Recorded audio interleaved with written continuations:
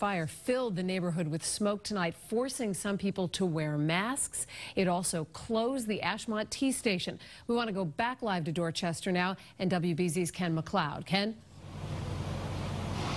Lisa, this is one of the last steps in the firefighting process. You're looking at a special flame retardant foam here on Dorchester Avenue. Heck, it looks like a snowdrift that's actually covered up a couple of cars here. So this was part of the final effort to douse the flames here. I'm going to get on the other side of the fire line and show you what's going on here. As you can see, aerial trucks are still pouring water on this. As you can imagine, when a fire is this big and it lasts this long, the impact on the surrounding neighborhood really ramps up. The heavy smoke seemed to hug the ground at times, where first responders and neighbors tried to protect themselves in the shifting breeze. We smelled it, but it wasn't so, so bad up until the wind changed. When the wind shifted, then it started coming up. Then we had to push back a little bit more. In fact, locals were urged to stay inside as firefighters borrowed nearby decks to fight the flames. But some neighbors had to bail out when the smoke penetrated their homes.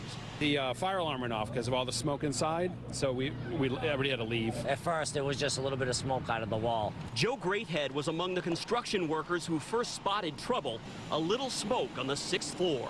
But then, it, you know, once everybody was out of the building, the fire department showed up and it started blazing. It was pretty crazy, yeah. So crazy, the resulting smoke shut down the Ashmont T station, 21 picking up over there, right? forcing riders onto buses up the street, an inconvenience that didn't worry commuter Patrick Allen. I wondered if, uh, you know, it was my block, someone I knew, if anyone got hurt, you know, things like that. Plenty of neighborhood streets were blocked off, including Dorchester Avenue, so navigating the area was a nightmare, and the flames were stubborn.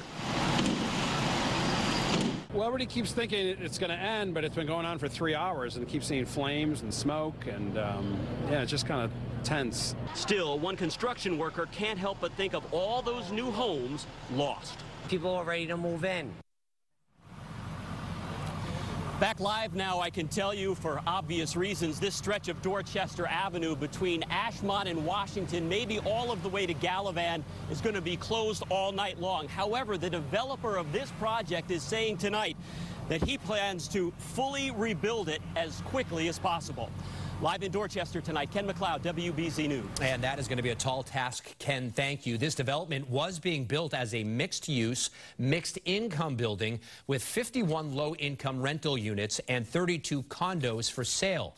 The building cost $45 million in total development and was set to open on July 15th.